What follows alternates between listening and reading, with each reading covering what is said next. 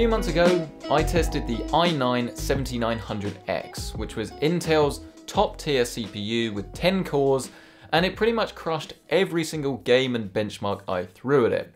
It was definitely no joke, and you can find that video over there in the top right hand corner. But today, I wanted to up the ante even further with Threadripper and Vega and build the ultimate AMD PC. So it all starts with the CPU, which is of course the top of the line Threadripper chip, which is the 1950X. And this thing has 16 cores running 32 threads. Absolutely insane. I know it's going to crush it in the performance department, but we'll save that for another time. In the meantime though, this thing supports quad channel RAM, it's got a 3.4 gigahertz base clock, 4 gigahertz boost, and yeah, I just can't wait to really put this thing through its paces. To call this, at the moment, options are not necessarily limited, but they're not necessarily optimized. The thing I've got here is the Master Liquid 240 from Cooler Master. This is definitely the value option as it's a large 240mm radiator that's available for around about 65-70 pounds at the time of filming. There are full cover um, blocks out there that are going to do a better job of cooling Threadripper. So if you are going to want to overclock it as far as it will go, then obviously you're going to want to look at those. But I'm very interested to see how a sort of more value orientated cooling solution actually does work with Threadripper.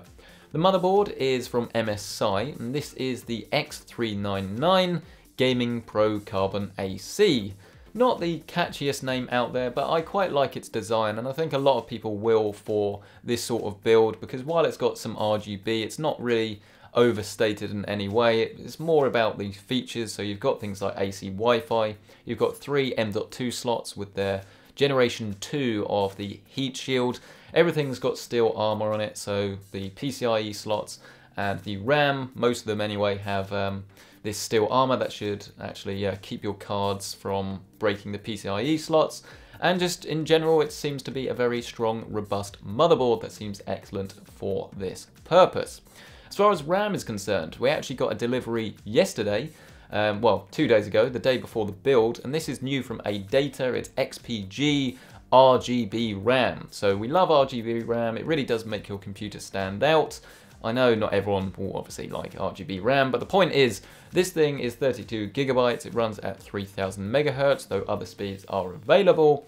And because it's quad channel RAM, we're gonna need four sticks, which this set is, and it seems to work absolutely fine so far with Threadripper. But if RGB RAM isn't exciting enough for you, then maybe you'll be interested in the GPU. It's not really that interesting.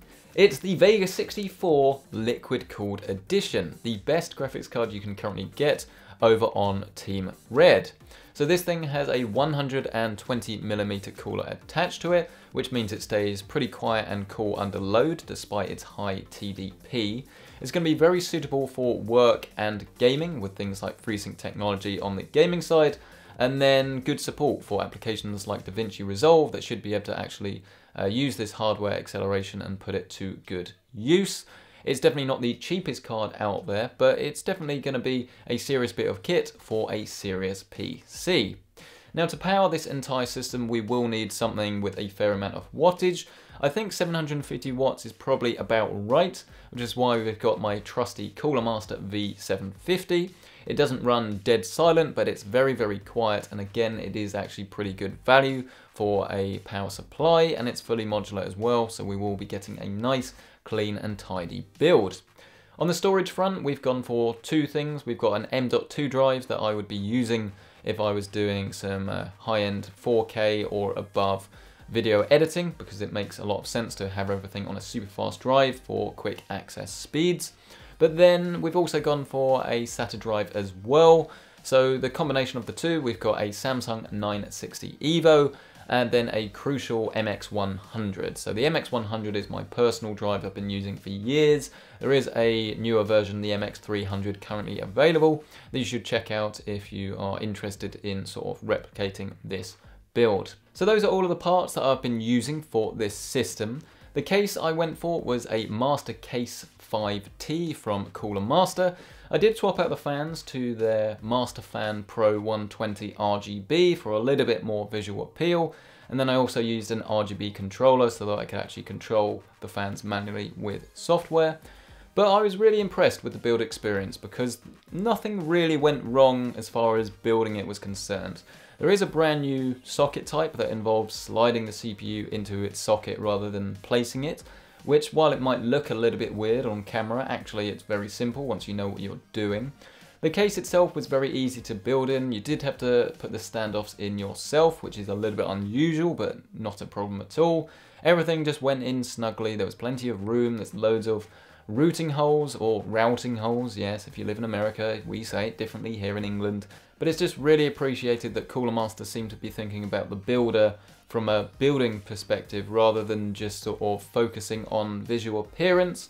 It really is appreciated when you come to put this thing together and you just find that everything is basically where you need it to. The only thing and the only slight gripe I had is actually with the um, RGB fans, and that's just the fact that the cables maybe could have been a little bit longer because I had to trail them all the way down the back of the case and it sort of looks a little bit ugly and out of place, but generally speaking, no real complaints.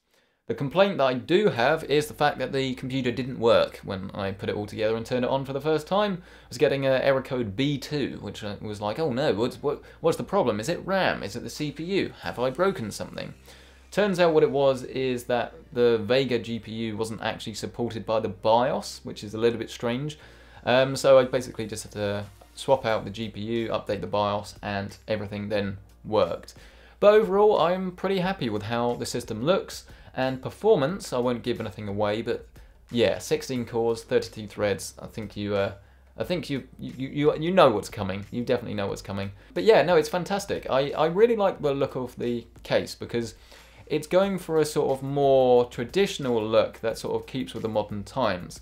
So you've got that tempered glass, you've got the RGB appeal, you can add uh, loads of stuff with the modularity. The handle on the top is really appreciated, although this thing is very heavy, so it's not quite as useful as it would be on a sort of lighter case.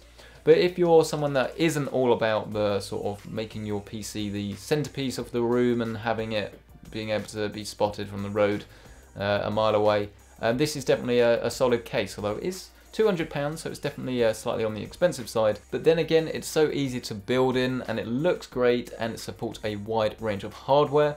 So it gets my seal of approval, but if you're after something that's a little bit more uh, value orientated, there are plenty of other options available that don't require you to spend getting on for £200. So that has been the AMD system. I hope you've enjoyed this video.